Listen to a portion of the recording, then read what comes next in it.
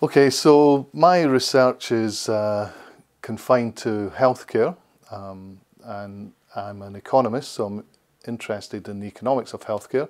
Healthcare, of course, is important because it's one of the largest um, expenditure sectors in most countries in the uh, wealthier parts of the globe.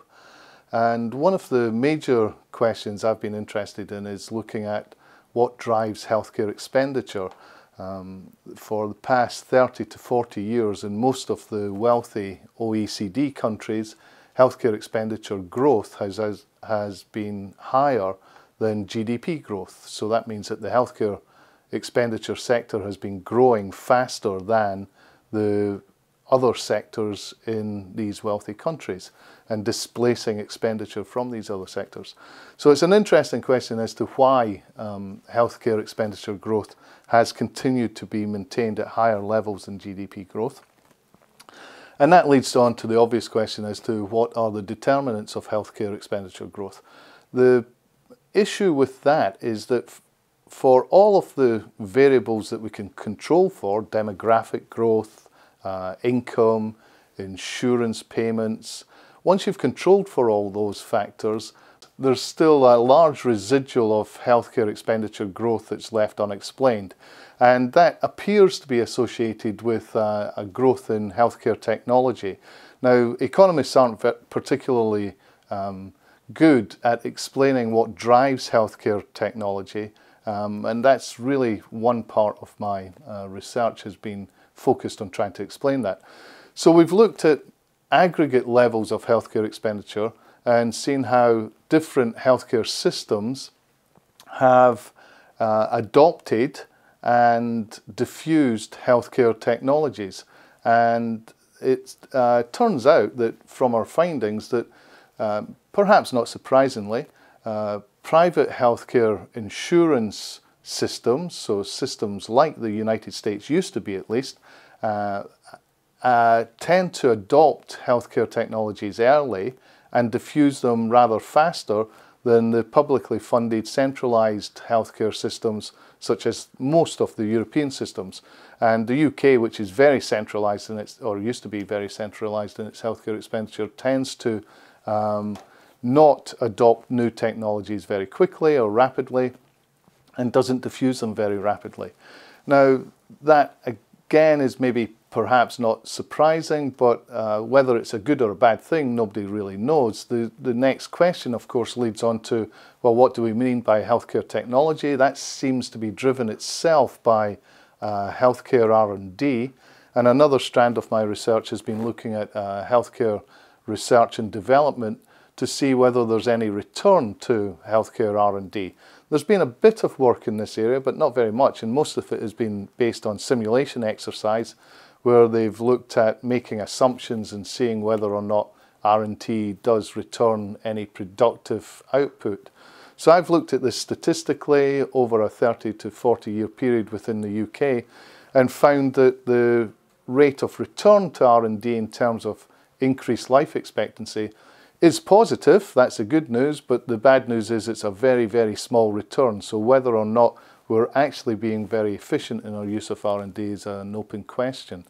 So that's one strand of my research. Another strand has looked at the hospital sector within the healthcare sector because hospitals, of course, are still a dominant um, provider of healthcare.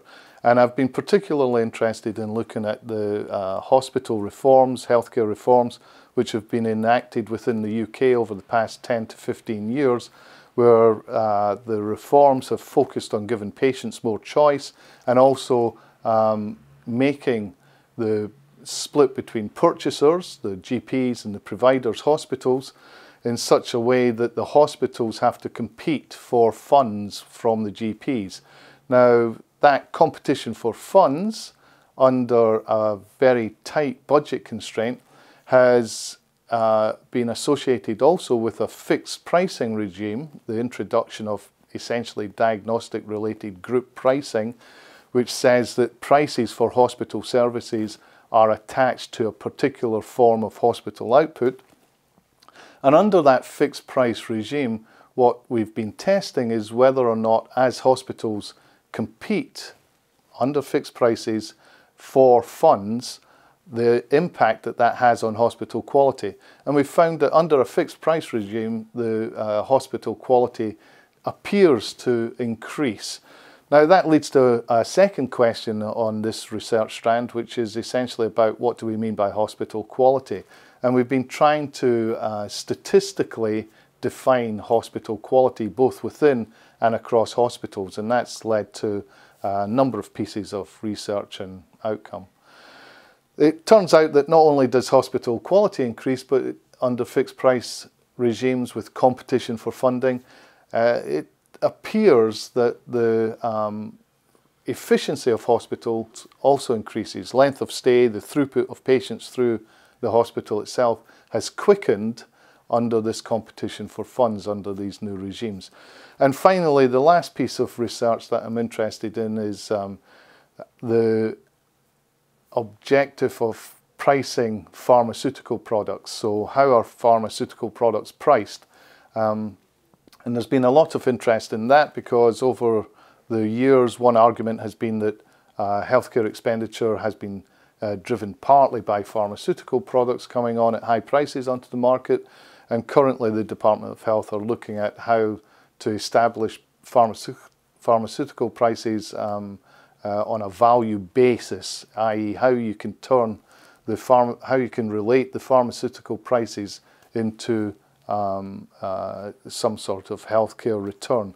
And we're looking at that, and the real conclusion that's coming out of that is that you have to relate your um, pharmaceutical price for any current product to future R&D developments and also to any patent system that you've got in place. So there's always a trade-off between how much of the profit ought to be returned to the pharmaceutical company in the form of higher prices so that they can invest in future R&D uh, against how much of the profit might be used inefficiently just to return to uh, shareholders in that sector. So these are the three pieces of work I'm currently engaged in.